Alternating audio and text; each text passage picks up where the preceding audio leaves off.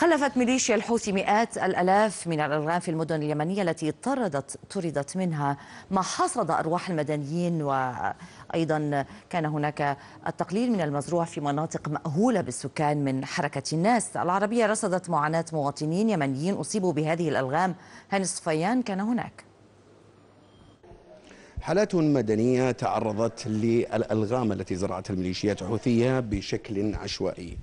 هذه الحالات كانت تسلك طريقها اليومي والمعتاد للتبضع والتسوق. أحد هذه الحالات نقابل مع العم وش اللي صار لك يا عم؟ اللي صار لي سوقنا السوق ورجعنا مروحين من السوق. وقع بالانفجار وقع انفجار. انفجار إيش؟ يعني انفجار لغم. لغم أخذ السيارة ورفعها. ماتوا معي يمكن 15 نفر. واثنين كان مصابهم سهل. كانوا يعني يحاولون أقول له أنا اسعفوني يا أخواني اسعفوني قالوا يا أخي إحنا يلا نسوي واحد كان واحد ماسك واحد. وأنا جلست وأذكر الله سبحانه وتعالى. الغام الحوثيين لم توفر صغيرا أو كبيرا من المدنيين ورغم إصابة العديد باصابات بالغة نتيجة انفجار هذه الألغام إلا أن ميليشيات الحوثي تمنعهم من التوجه لمناطق الشرعية لتلقي العلاج. ما يريدوا مننا هذه الناس. هذه ناس خارجين من ملة الإسلام.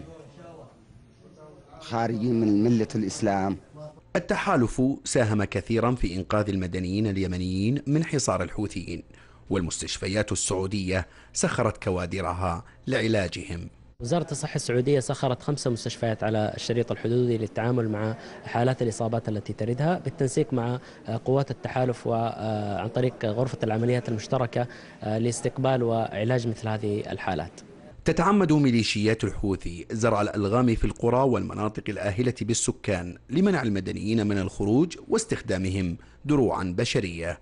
هاني صفيان العربية الحدود السعودية اليمنية.